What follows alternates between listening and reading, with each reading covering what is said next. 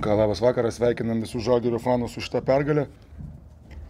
Buvo aišku sunki labai pergalė ir uh, kitokios kovos ir nesitikėjome. Žaidimas buvo, manau, abiem komandom kažkiek tai logiškas.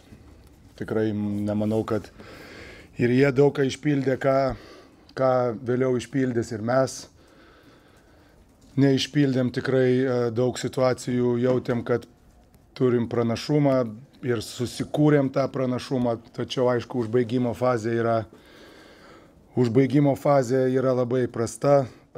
Sakau, vėlgi pabrėšiu, kad tai yra didžiulis procesas, didžiulis maratonas ir stengsimės, kad nauji žaidėjai, kaip sakant, jį suprastų, sakau, džiugina, džiugina darbas O šiandien, aišku, reikia pasidžiaugti gražią pergalę.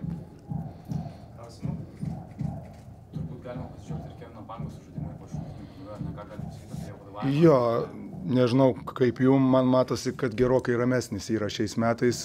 Atvirai pasakius, neturiu labai yra. Nelabai turiu ir kitų variantų, nes uh, Vasija žaidė beveik be nugaros vakar nesitreniravo, tikrai ėjo, ėjo ir, ir stengiasi kažkiek tai, kiek galėjo padėti komandai ir manau padėjo. Uh, D iškrito, antrojam kelinį berots ar pirmam, uh, kas uh, aišku labai jaudina. Žiūrėsim rytoj, padarysim testus ir kas bus.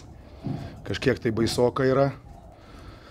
Tačiau sakau, vyrai kovoja, tikrai stengiasi, bet Nu, žinote, e, vis dėlto tas Eurolygos komandos lygis skiriasi ir jie atėję iš tų žemesnių, žemesnių lygų, jie yra tikrai talentingi, bet netalentas, netalentas svarbiausia yra komandiniam žaidimui, yra susitelkimas, yra absoliutus atsidavimas ir, ir, ir detalių išpildymas ir, ir manau, kad taip stengiantis jie turėtų eiti prieki.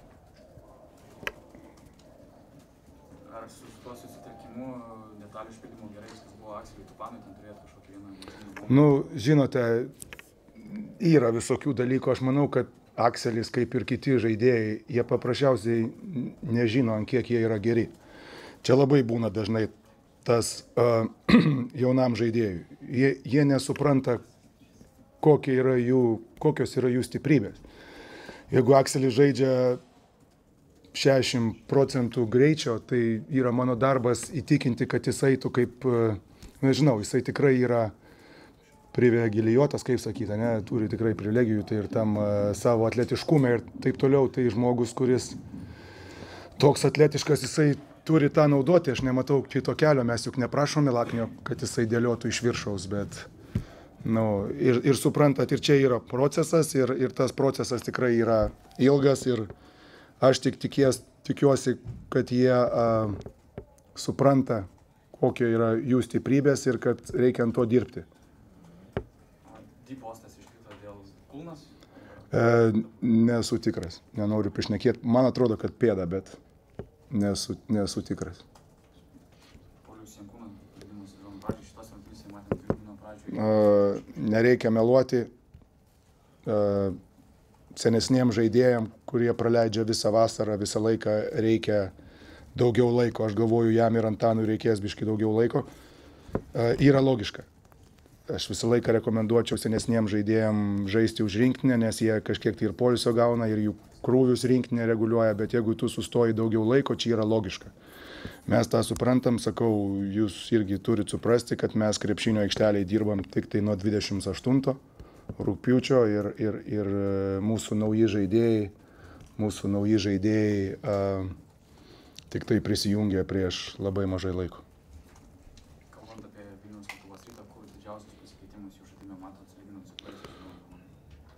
Jie visą laiką buvo tokie, aš galvoju, kad šiandien jie, jie tikrai ir Karteris sužaidė labai geras rungtynės, sakau, jie, jie tikrai uh, kažkaip, kaip pasakyti, nelabai galbūt kažkuo nustebino, bet vis dėlto labai blogai, kad pralaimėjom kamolius. Uh, pagal protokolą pirmoji pusėje buvo 15 praleistų taškų po antrų šansų ir, ir, ir tai tikrai, aš galvojau prieš rungtynės, kad tai yra mūsų stiprybė, o, o, o gavosi atvirkščiai. sakau, stengiamės, stengiamės, išimti, stengiamės išimti iš, iš žaidimo ir Petersoną keitėmės, gal tas biški mus nubaudė ant, ant, ant kamolių, bet tas pats Kreimeris nusėmė berots pirmą pusę nemažai kamolių. Taip kad uh, Rytas turi gerą komandą, su, su Luko ateimu bus dar geresni. Tos dvi klaidos paskutinę minutę išsimetant kamuolį iš šoninės linijos, kaip tai paaiškinti? Aš galvoju, viena yra mano kaltė, nes vis dėlto turėjau du, du, du taimautus ir, ir galvojau, kad tikrai uh, uh, galvoju, kad uh, tikrai uh, išsimes, bet galbūt neturėčiau galvoti taip.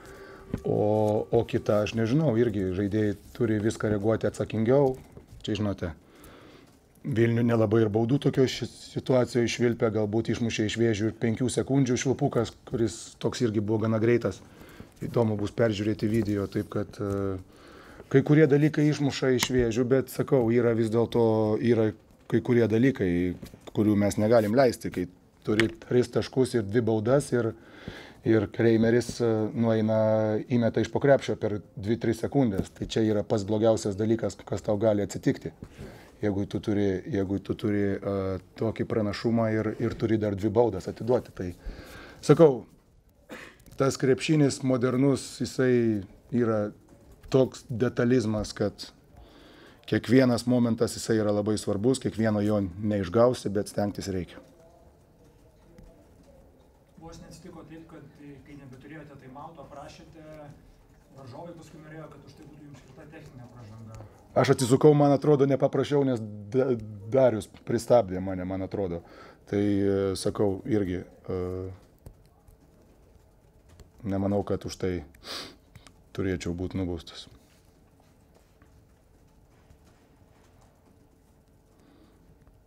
Pirmoji pusėje atšaukiau vieną taimautą ir vis tiek davė. Taip kad, kaip sakant, sekretoriatui dar irgi ankstyvas sezono metas. Ar bus dar klausimas? Dar vienas, kiek situacija sumaišė tai, kad neveikia vienas laikrodis vienoj aikštės pusėje? Nu, aš galvoju, e, nežinau. Man atrodo, paskutinėje atakoje berots Kevinas varėsi kamolį, dar atsisuko, atsisuko pažiūrėti į mūsų, į mūsų krepšį, kiek liko, kiek liko uh, laiko.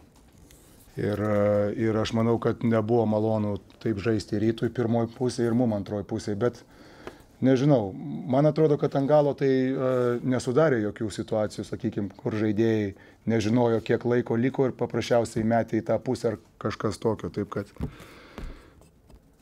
ir Siemensui dar labai anksti sezonė pasirodė. Na ką norėčiau pasveikinti Žalgirį. Džiaugiuosi aplamai kad tas derbis, kurio visi laukia, jisai gavosi, aišku, nelabai linksma, kadangi pralaimėjom, bet viskas buvo temoje, rungtynės buvo įdomios. Ir norėčiau pasveikinti Žalgirį ir Šarūną su puikia pergalė. Na, jeigu priežastys kokios, tai sakyčiau, žaidėm neblogai, bet nesugebėjom paskutinės dvi minutės sukontroliuoti, išmesti gerų metimų. Ir aišku, kas būtina laimėti rungtynės įmesti. Ta padarė Žalgeris ir šiandieną jie buvo būtent tas paskutinės dvi minutės geresni negu mes. Na kita vertus, nenorėčiau skūstis teisėjimu, bet manau, kad yra neteisinga, kada tokio lygio varžybose viena komanda meta 29 baudas, kita 12.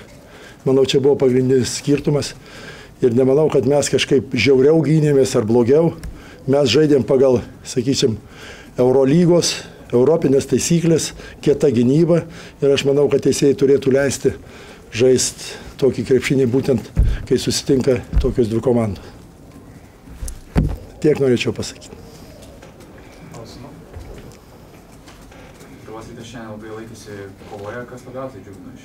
Komandos? Na, visų pirma, man patiko, kad mes nepalūžom. Aišku, to komforto namų sienų mes nejaučiam, nes kai kurie žaidėjai turbūt pirmą kartą žaidžia tokio rango varžybėse, varžybose, tokiai salėje su, su tiek žiūrovų, su tokiu presingu prieš rungtynės. kadangi visą savaitę pumpuojama, kad čia bus kažkas ypatingo. Truputį pradėjom susikaustę, nėra to laisvumo, bet aš manau, kad išmokdžiai savoje salėje prie tokios gausos sirgalių, kurie šiandien susirinko, irgi reikia mokėti, mes tą padarysim. Bet, kaip minėjau, viena yra žaisti, o kita yra laimėti. Džiugino charakteris, džiugino kovingumas, džiugino gynyba. Labai džiaugiuosi, kad gynėmės agresyviai, taip kaip mums reikės Europos tauriai. Tik tai gaila, kaip minėjau, kad teisėjai traktuoja kai kurias tokias, nemanau, kad ten buvo baudas. Šiaip tai vyram ačiū už charakterį, už norą laimėti. Mes, kaip ir minėjau, pradedam tik tai sezoną, kadangi aštuoni krepšininkai yra nauji, mums reikia sulibdyti komandą, bet šiandieną mes buvom komanda. Išskyrus kai kurias detalės, gale rungtynių, kur nesugebėjom išpildyti taip, kaip reikia.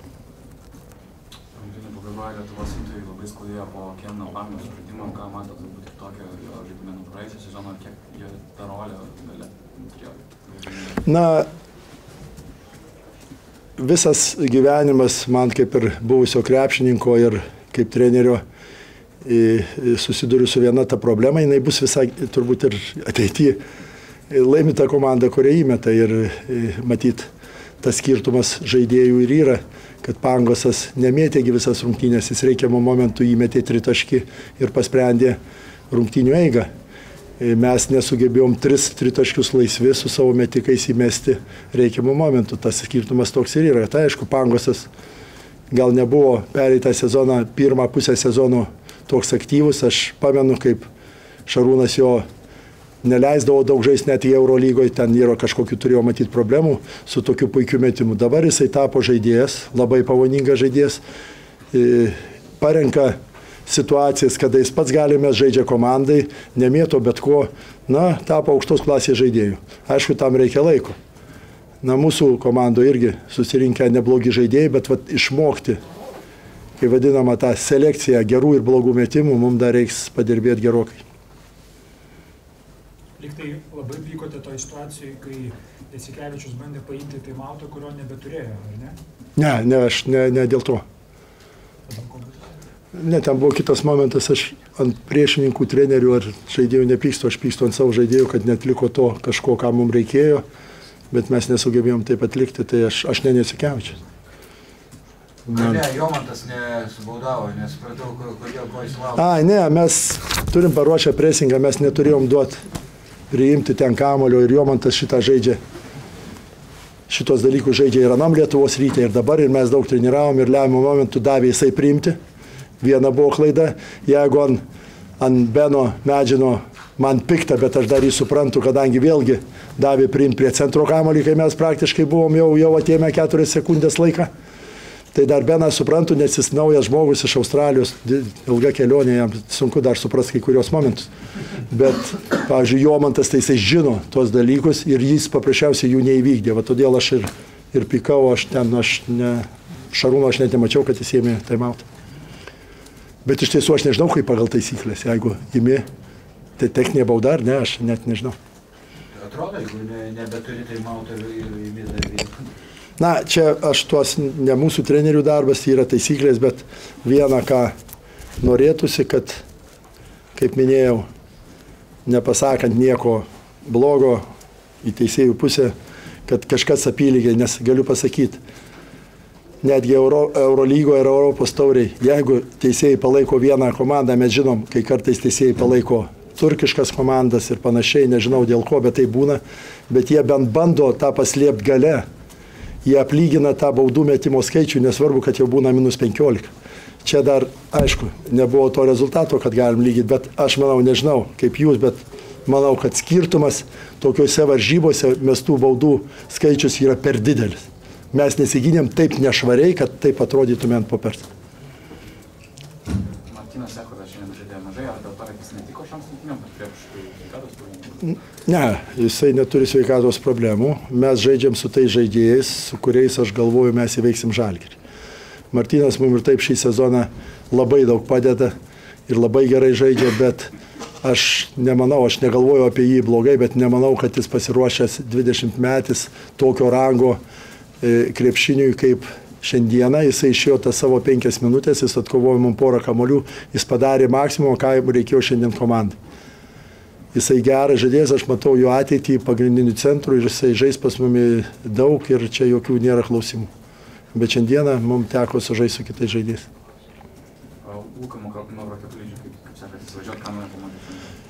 Na, aišku, mes matom jo fizinę formą, jinai nėra e, geriausia, jisai trenirausi vienas, kaip jau minėjau kažkokiam interviu. Kita žaisti tokio rango varžybas jis patirtį turi, bet kūno dar ne. Bet kaip šitam lygiai aš esu patenkintas, jis gerai kovėsi, jis suprato taisyklės, jis kai kurias taisyklės, sakysim, net pačią visumą daugiau suprato per tą savaitę laiko treniruočių, negu kai kurie mūsų žaidėjai, kurie treniruojasi du mėnesius. Kadangi jis yra aukšto krepšiniško intelekto ir jisai geras žaidėjas, jam reikia biškai sutvarkyti su, su fiziniais savo, su kvėpavimu, su intensyvumu, o šiaip tai labai puikus žaidėjas, labai gerai skaito žaidimą, neblogai ginasi, viskas ko reikia. Ta, ką norėjom iš jo, mes gavom, aišku, primetam, kad, kad jisai dar nėra savo geriausios fizinės formos. Baronas taip nepataiko šį sezoną. Taip, bet mes, ja, bet mes žinom jo galimybės, mes laukiam, vis laukiam. Galvoju, kad sulauksim. Priekaištauti aš jam negaliu.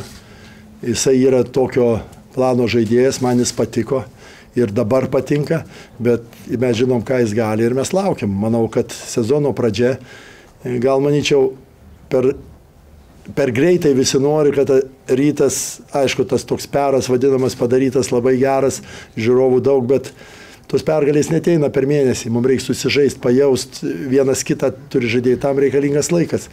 Aišku, tas kelias, kur, kuriame mes esame, manau, kad yra teisingas ir mes, mums kas beliko, reikia dirbti, reikia įmesti savo metimus, nes šiuo metu būtent iš metikų mes nesulaukiam tos paramos polime, kokios norėtume, bet aš tikiuosi, kad mes būsim savo savo lygyje.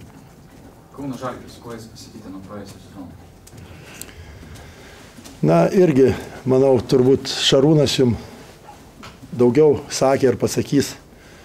E, daug naujų žaidėjų, kai kurie nesupranta tos tokios gal net atsakomybės, nes svarbiausia gerai, kažkada skaičiau Mindaugo Lukausko interviu, kad užsieniečiam atvažiavus į Lietuvą pirmą reikia juos išmokyti to atsakingumo, kad yra varžybos svarbios ir panašiai. Nes negalim klysti, daleisim, neturiu jokių priekaištų Robertui Carteriui, mūsų komandos žaidėjui, bet tokio lygio varžybose mes per didelį prabangą nepataikyti iš po krepšio ar dar kažkokių va, tokių smulkių dalykų. Manau, Žalgiris turi tokią pat problemą - supratimą rungtynių svarbos. Ką pats Šarūnas laikraštinė spaudoj minėjo, reiškia, turi užsiugdyti, kad kiekvienas kamuolys svarbu, kiekvienas praėjimas skauda, tai aš manau, kad šiuo metu yra pagrindinė jų problema. Žaidėjai geri, vėlgi, jiem irgi reikia laiko, kad žaistų tą krepšinį, kurį žaidė pernai.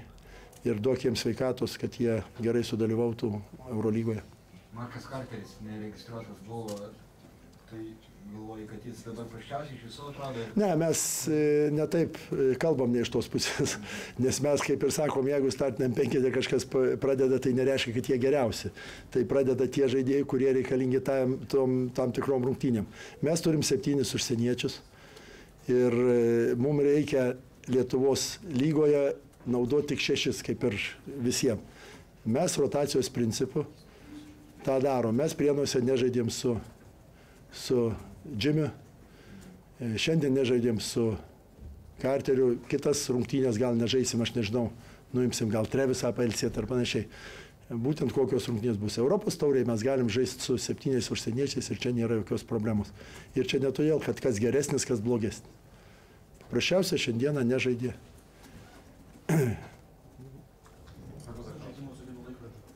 Kaip? Kaip žaidimas su vienu laikrodžiu? Viena, iškėslinti, kita Na, techniniai gedimai, ką, ką aš galiu pasakyti. Galiu pasakyti, kad bent čia buvo vienodos sąlygos. Ir žalgeriu ir mum. Iš teisėjų pusės. Tai tik tiek, o šiaip, nu aišku, geriau žaisti su, viso, su visais dalykais, su tablo, su laiku, su, bet jei ne, nebuvo, tai nebuvo. Nu, ką. Na, manau, kad baudą reikia įmesti ir taip. Ar yra tas jo nėra, nu, bet čia niekas nepagelbė. It was a very um, hard fought game. Um, both teams fought until the end, and you know, unfortunately, we were on the losing side. Um, I'm proud of the the way that we fought. Um, you know, I think we're making strides in the right direction.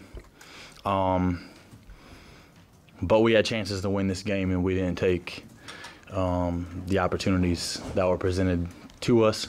And uh, Zalgiris um, made the shots, um, you know, when they really counted down in the last two minutes. And, um, you know, we know where there's mistakes that we have to get better at, but, um, you know, we fought hard and um, I think our team's making strides, but we needed to win this game today. So are there any questions?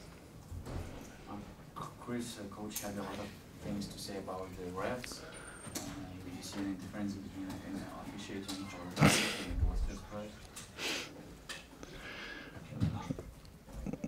I mean, you know, I'm out there playing and, um,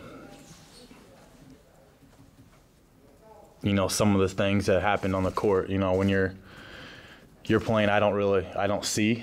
Um, so it's hard for me to, to really comment, um, on some of those things. I mean, coaches, you know, back and he's seen all the contacts and all the fouls and things that, you know, he sees. So it's hard for me, you know, as a guy, especially guarding the ball, um, you know, to really see what's going on behind me. So I really, I really can't comment on that. Was your first time experience. Lietuvos Rytas game. How was it? Um, the atmosphere was amazing. Um, you know, it was a great game. I think you know the fans were, um, you know, happy. Obviously, we wanted to win. Um, but like I said, I think we're, you know, moving in the right direction, and I think there's bright things um, in the future for us.